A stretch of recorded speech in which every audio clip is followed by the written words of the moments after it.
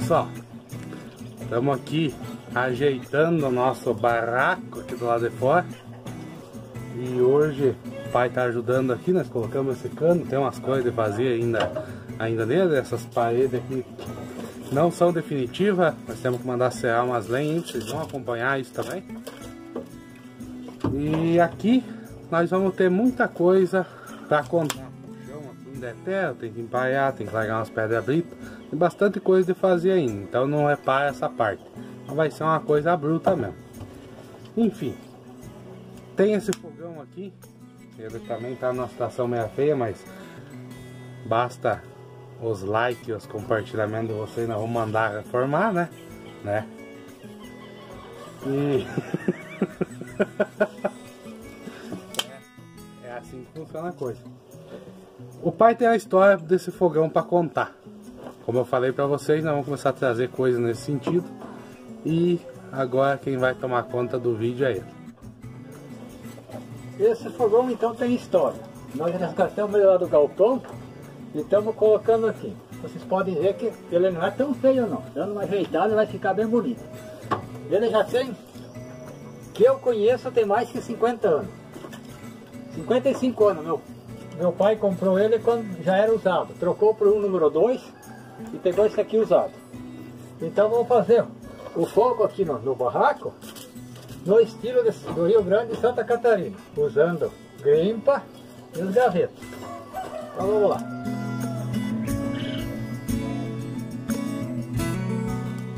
Só que naquela época não existia isso daqui, era aquele de bater com a lima.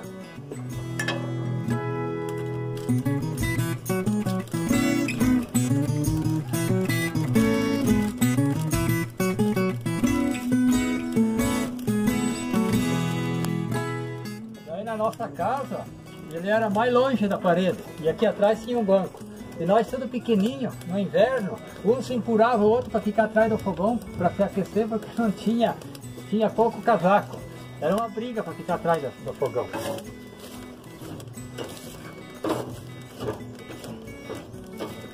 Como vocês podem ver, está faltando o barco. Vamos usar aqui um, um disco de grade. Aliás, um disco de plantadeira.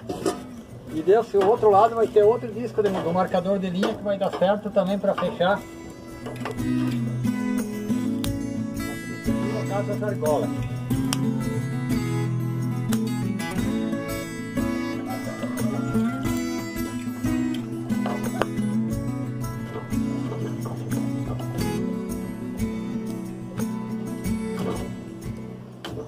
Os aqui estão aqui, não sei se eles querem assistir também ou estão com vontade de ir para a panela. Não sei qual é o motivo deles estarem se implicando com a gente.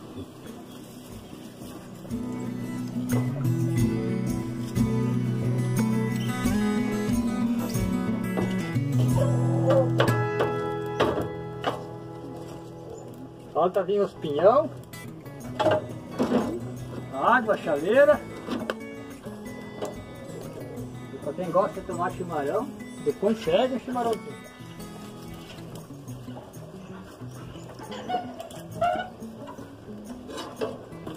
Só resta essa argola original ainda, as demais que foram.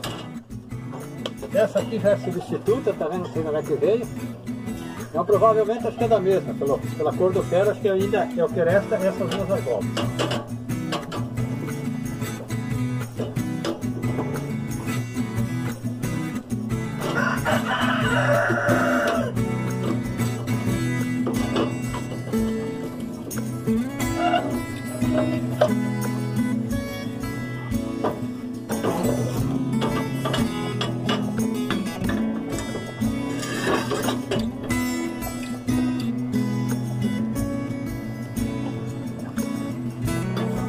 Vai que cortar.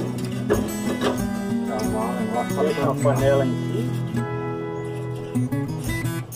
Ai, quanto duro da chaveira? Isso aqui eu acho que não é uma coisa comum. Esse aqui é o tanquinho d'água. Enchia de água, até que tinha fogo, mas tinha água quente aqui. Precisava lavar uma louça, tirar a gordura dos pratos, simplesmente vinha aqui com a panela, abria a torneira e tirava a água quente. E às vezes até acabava água que não estava fazendo a comida, Colocava a chaleira aqui para acelerar, para fazer mais ligeiro. Colocava na chaleira e depois ia acrescentando da outra. Da água fria.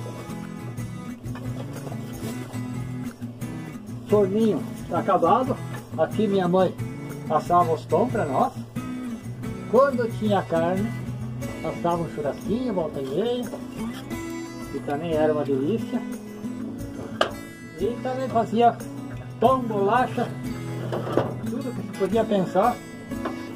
O que uma dona de casa sabe fazer, você cozinhava dentro desse forninho. Esse tem história, esse tem mais de 50 anos. Mais de 55 que eu conheço, já era usado.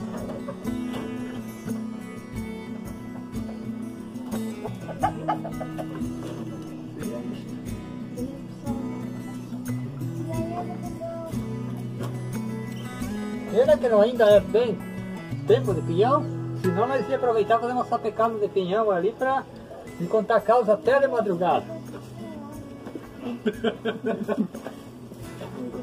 O pai tá exagerando um pouco aí. Então tem uma. Não, os de hoje não sabem das histórias. No passado se fazia isso. Se careava o dia até contando história, contando piada. Ninguém Era maneira de se divertir. É, que nem foi dito aí, vocês acompanharam um pouquinho da, da história dessa parte. Tá fazendo fogo, tá tudo certo aí.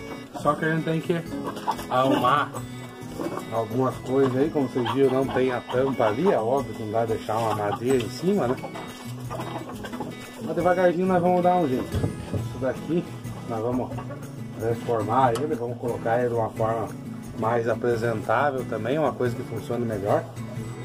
E vocês podem ter certeza que vocês vão ver ele bastante aí no nosso, no nosso canal. Beleza, meus amigos? Só dá um trato que fica bonito. Vem cá de mim. Vem cá. Vem. Como é que é que fala tchau pro pessoal? Não é assim? Beleza, Até o próximo vídeo. Não, não, não. Não. Bem forte. Beleza, meus amigos. Vamos frente e até o próximo vídeo. Ok?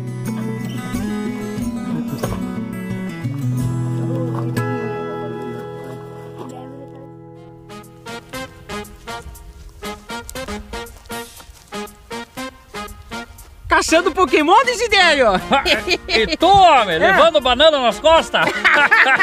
Não tá com medo desse tal de coronavírus, homem? Mas, homem do céu, se eu Ah. te falar uma coisa, tô com dois tipos de medo, homem. Ah, Medo de morrer e medo de passar fome. ah é verdade! Porque nós aqui da roça não podemos parar. Não. Nós estamos na linha de frente, homem. Se É nós verdade. parar, vai faltar comida na mesa do mundo inteiro. Justo, Desidério, justo! É, tô aqui tentando ver se consigo o sinal do celular Ah, pra mim fazer um pedido de um GPS agrícola vindo da Segna. me... Mas por que jeito vai pedir, homem, o GPS? Tá tudo parado, homem! Não, é que a Segna Ah. só produz GPS agrícola Ah. com peças aqui nacional aqui do Brasil. Não vem lá da China? Não, não vem. Ah. E eles estão com o estoque lá cheio, tá Aham. tudo alinhado, tudo pronto. É só o cara mandar e tu usar. Me... Então faz o seguinte, Desidério. Não pede um GPS, pede dois que eu vou querer um também, Eu homem. vou falar com o Thiago, que ele é o dono lá da Segna, e ele já despacha pra nós. Ele mesmo? Ele mesmo, só, Oh, só conseguir achar o sinal. Que maravilha! Segue na GPS. Futuro é agora.